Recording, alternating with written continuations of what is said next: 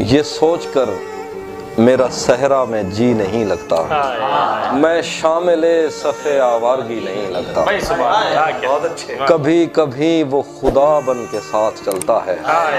कभी कभी तो वो इंसान भी नहीं हाय। यकीन क्यों नहीं आता तुझे मेरे दिल पर? ये फल कहाँ से तुझे मौसमी नहीं?